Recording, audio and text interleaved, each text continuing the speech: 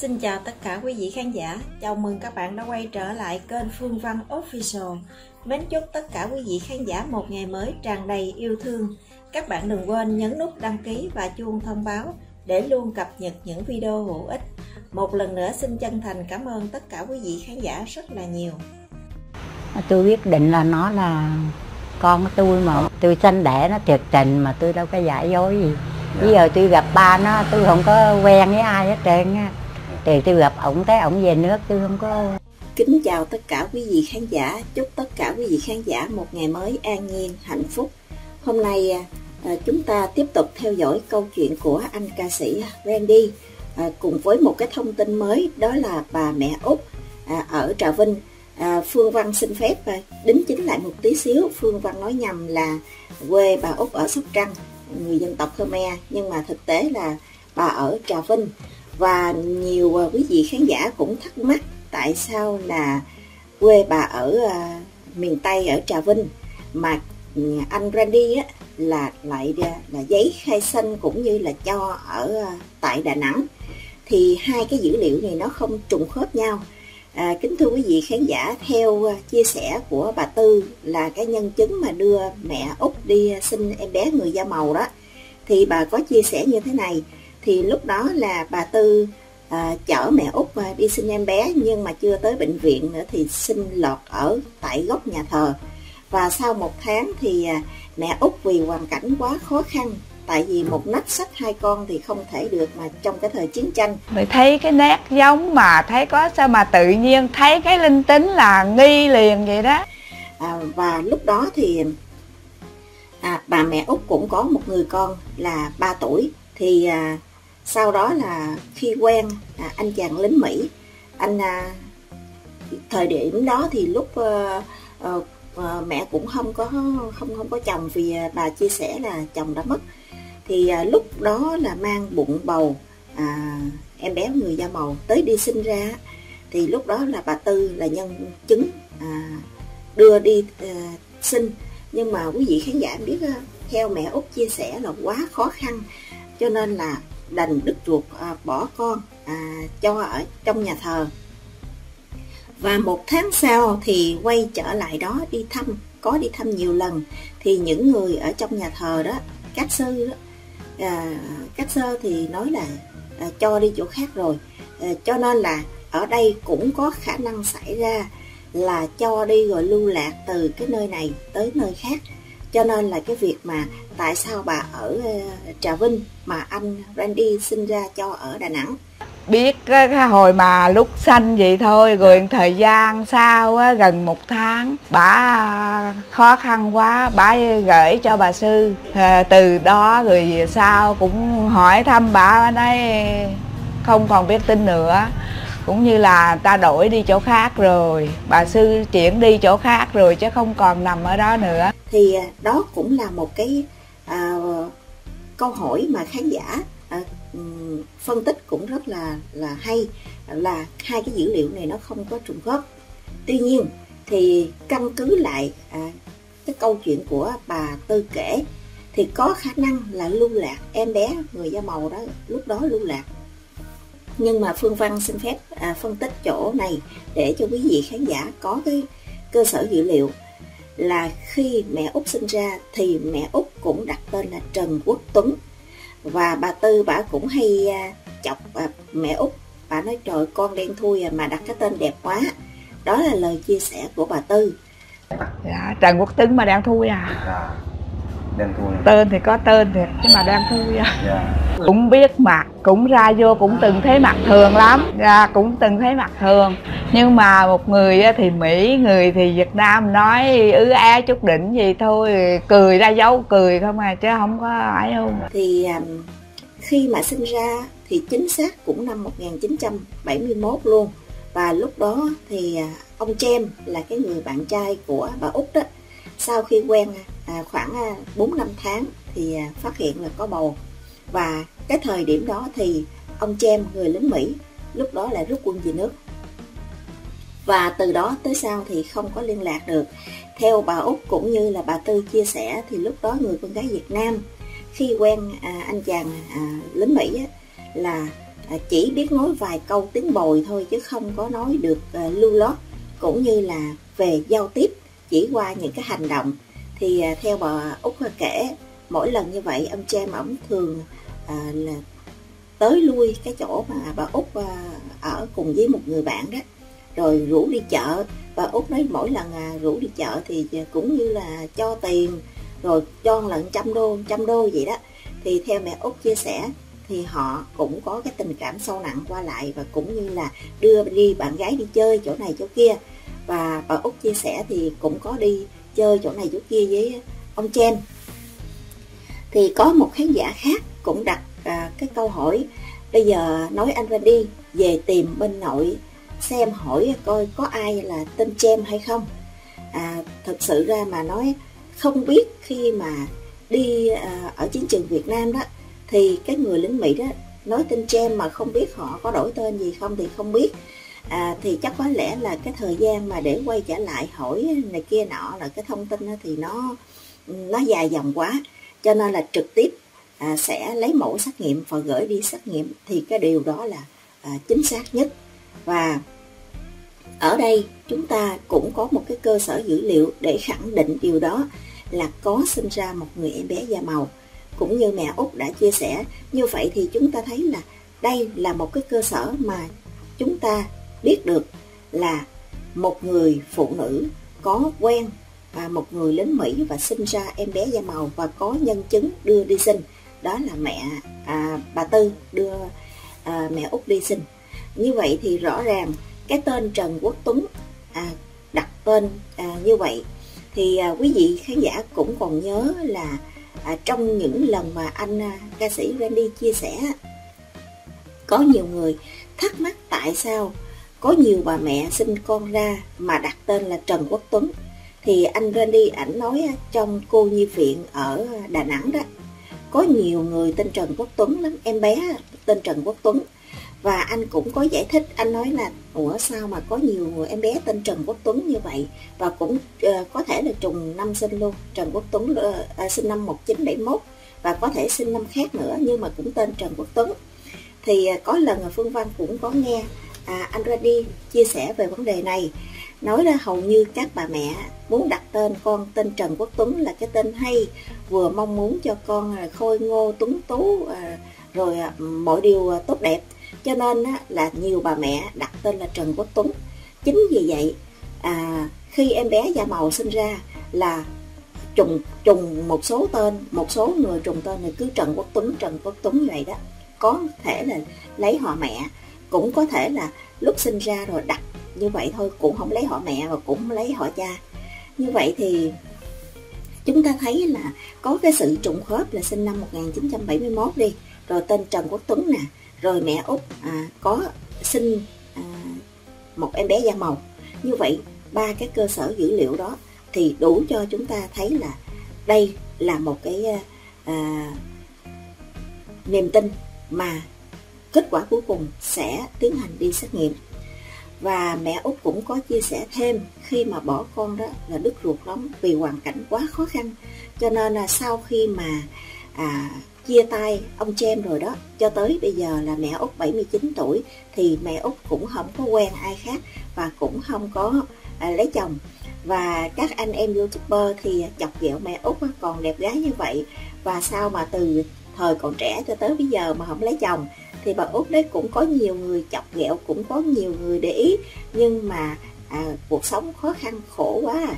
lấy chồng lần đầu thì à, chồng cũng mất. Và lấy người thứ hai thì à, trong cái thời khắc lịch sử đó là ông Jem ông cũng về nước. Và ông có để lại một tấm hình.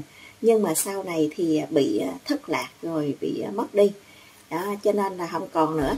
Bà út cũng chia sẻ thêm chi tiết này.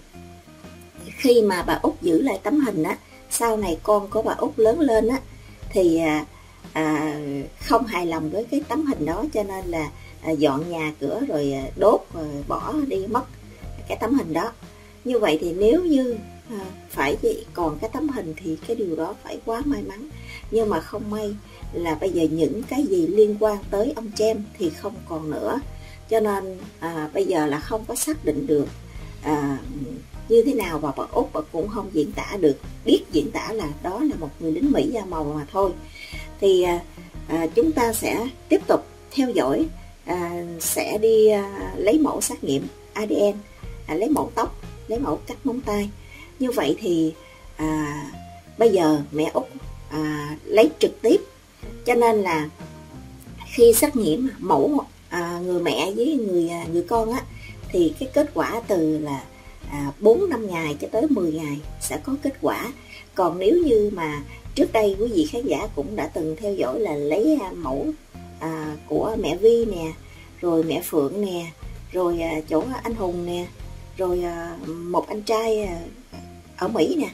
Đó thì tất cả những cái dữ liệu đó là lấy à, lấy mẫu nhưng mà nó có thời gian à, nhanh hay là chậm là do gửi từ bên nước ngoài về hoặc là gửi từ đâu đó thì à, mẹ không còn. Cho nên cái việc là xét nghiệm anh em cô bác chú rồi gì gì đó thì cái thời gian xét nghiệm nó lâu hơn và nó phức tạp hơn. Và ừ, ở mẹ riêng ở mẹ úc thì điều rất là may mắn là xét nghiệm trực tiếp giữa mẹ và con. À cho nên cái kết quả chính xác là tuyệt đối. Và à, anh Rani à, biết đâu được đây là một cái điều may mắn mà sau khi hành trình tìm kiếm mẹ mấy mươi năm trời mà bây giờ còn sót lại một cái thông tin rất là quý rất là hữu ích. Một nhân chứng đưa đi đi sinh rồi mẹ cũng còn minh mẫn kể lại câu chuyện hết từ đầu tới cuối.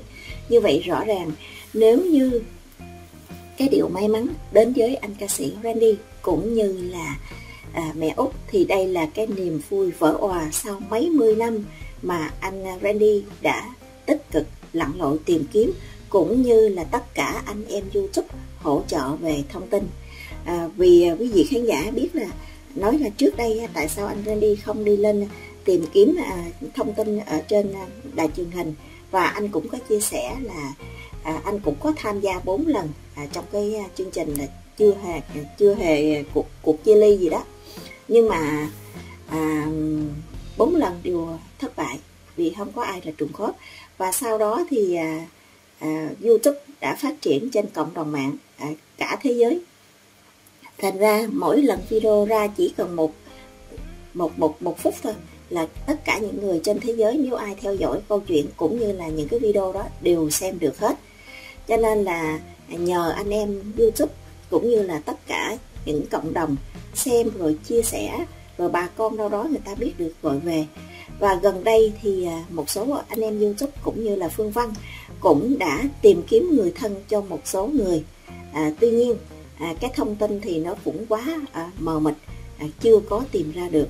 Và quý vị khán giả nếu ai có nhu cầu tìm người thân cũng như là muốn làm từ thiện à, về một hoàn cảnh nào đó thì trong kênh Phương Văn ngoài chia sẻ phần tin tức Phương Văn cũng làm cầu nối để tìm kiếm người thân cho à, quý vị khán giả cũng như là làm cầu nối để kết nối yêu thương với mạnh thường quân với một nhân vật đặc biệt nào đó. Thì Phương Văn à, trong kênh mình có những cái mục làm từ thiện cho tất cả à, mạnh thường quân muốn hỗ trợ hoàn cảnh nào đó. Khi Phương Văn quay và mạnh thường quân theo dõi thì à, họ sẽ hỗ trợ giúp đỡ cho những cái hoàn cảnh khó khăn đó. Một lần nữa thì Phương Văn xin cảm ơn tất cả quý khán giả mạnh thường quân tất cả quý bà con xa gần đã đăng ký và theo dõi kênh Phương Văn. Bên cạnh đó thì Phương Văn cũng có cái kênh thứ hai đó là kênh chia sẻ cuộc sống đời thường. À, ngoài tin tức ra thì Phương Văn cũng có một số cái video giới thiệu về làm đẹp cho chị em phụ nữ. Kính thưa quý vị khán giả à, ai cũng chờ đợi và mong cái kết quả cuối cùng để cho à, người trong cuộc mẹ út và bà tư cũng như là anh Randy à, họ sẽ sớm nhận được cái kết quả. Trong video sau thì Vương Văn sẽ chia sẻ cho tất cả quý vị khán giả về à, hình ảnh cũng như là những người à, ở hàng xóm láng giềng người ta chia sẻ như thế nào họ mong ước ra làm sao đối với bà út. Ở trà vinh thì à, cái khu vực đó ai cũng biết là mẹ út trước đây có sinh ra người em bé da màu như vậy. Lâu lâu thì nhiều người cũng hỏi hỏi bà út ơi sao bà không đi tìm con lai mỹ của bà đi? Thì bà út trả lời là bây giờ tôi già rồi tôi thì cuộc sống khó khăn nghèo khó cho nên là à, họ không có biết đường đi tìm. Thì quý vị khán giả biết là cách đây 3 năm à, người những người hàng xóm đó, người ta thấy vậy người ta có chụp hình hình của bà út với à, à cái cái thông tin như vậy đó họ chia sẻ trên Facebook cá nhân. Nhưng mà quý vị thấy thấy là ờ, Facebook thì hầu như là nó không rộng rãi bằng à, trên YouTube. Và 3 năm trời thì cũng không có ai liên lạc và cũng không có cái thông tin. Và rất may mắn là tiếp theo đó thì em à, hàng xóm á, em cũng tiếp tục gọi cho các anh em YouTube để xuống trực tiếp quay như thế này. Thì đây là một cái thông tin và cực kỳ hiếm và cực kỳ bổ ích. 3 năm trời em kia cũng lặn lội đi tìm kiếm đăng thông tin mà vì lúc thời điểm đó thì em cũng không biết gọi các anh em YouTube. Cho nên đăng Facebook thì biết khi nào mà người ta đọc được. Cho nên cái thông tin đó nó không rộng rãi. Tới ngày hôm nay thì hy vọng lắm luôn bà Tư nói tôi hy vọng 99 trăm phần trăm. Còn mẹ Út thì mẹ nói là cái linh cảm của mẹ Út nói là à, anh ca sĩ Randy là con tôi. Mỗi lần mà tôi xem truyền hình tôi thấy là tôi cứ khóc hoài và tôi nhớ con à, đó là một cái điều rai rứt mà à, tất cả những à, người phụ nữ Việt Nam kể cả thế giới khi một à, phút chốc nào đó à, đôi khi cái hoàn cảnh họ bế tắc họ phải à, đành lòng gửi con mình cho một người khác nuôi. Đó là một điều mà đau đáu mấy chục năm trời. Và tới hôm nay là tuổi già 79 tuổi mẹ út vẫn còn minh mẫn sáng suốt. Để nhớ lại câu chuyện và mong muốn tìm con mình à, tìm lại cái người con mà mẹ đã sinh ra trong thời loạn lạc chiến tranh.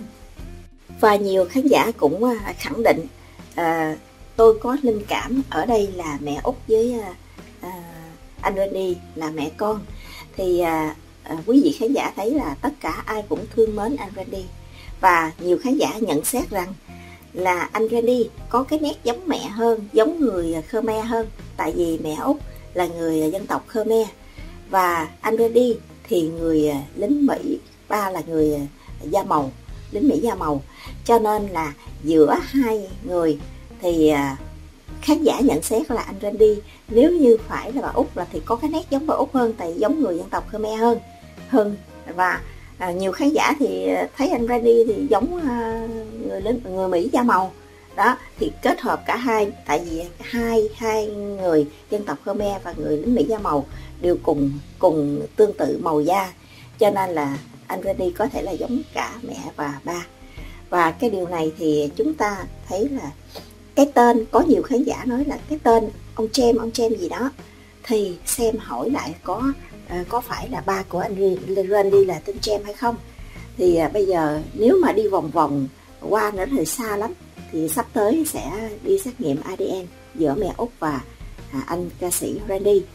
À, và anh Randy ảnh xét nghiệm nhiều lần rồi quý vị khán giả từ đó giờ xét nghiệm rất là nhiều lần. Cho nên cái mỗi lần như vậy thì anh cũng chia sẻ là rất là hồi hộp khi chờ đợi kết quả. Tại vì các bà mẹ có những cái thông tin trùng khớp là có sinh em bé da màu và đặt tên Trần Quốc Tuấn như vậy. Thì mỗi lần xét nghiệm là bà con quý bà con từ uh, khắp mọi miền đất nước kể cả hải ngoại hướng về câu chuyện đi tìm mẹ của anh Randy đều hồi hộp. Và bà Tư là um, cái người trong cuộc đưa mẹ à, út đi sinh bà nói à, mong có cái kết quả sớm sớm xét nghiệm sớm sớm đi. Chứ tôi tôi quá hồi hộp.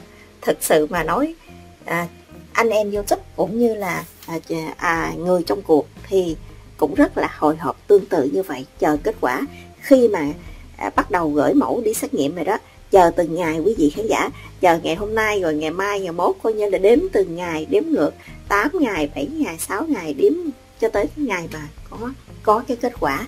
Khán giả cũng trông chờ à, phương văn à, nhiều lần trước cũng chia sẻ hôm nay á, là chúng ta chờ đợi thêm 3 ngày nữa. Thì khán giả nói trời ơi em ơi bây giờ chờ đợi sao nó hồi hộp nó lâu vậy? Thật sự mà nói chúng ta chờ đợi một cái gì đó nó hết sức là nó hồi hộp và nó thấy nó lâu ơi là lâu luôn á. Thì à, ngày hôm nay phương văn chia sẻ thông tin à, thêm cho quý vị khán giả để theo dõi câu chuyện này. Và ai cũng cầu nguyện mong trời phật và cầu nguyện chúa à, tất cả những người thương yêu anh Randy đều cầu nguyện cho đây là một cái thông tin à, cuối cùng để cho anh Randy tìm lại mẹ ruột của mình. Nếu như mà kết quả trùng khớp thì phải nói là niềm vui vỡ òa cho à, người trong cuộc cũng như là tất cả những người ở Việt Nam à, đã từng theo dõi cũng như là trên thế giới đã theo dõi anh à, ca sĩ Randy hành trình đi tìm mẹ mấy mươi năm trời. Đây là cái niềm vui vỡ òa không thể nào diễn tả được. Thôi thì quý vị khán giả hãy đăng ký và tiếp tục theo dõi câu chuyện này. Phương Văn sắp tới sẽ um, à, chia sẻ cái thông tin về À, mẫu xét nghiệm ADN giữa mẹ Úc với anh Randy. Xin chân thành cảm ơn tất cả quý vị khán giả đã theo dõi phần à, câu chuyện của Phương Văn chia sẻ. Xin kính chúc quý vị khán giả một ngày mới vui vẻ, hạnh phúc. Tạm biệt, hẹn gặp lại video sau.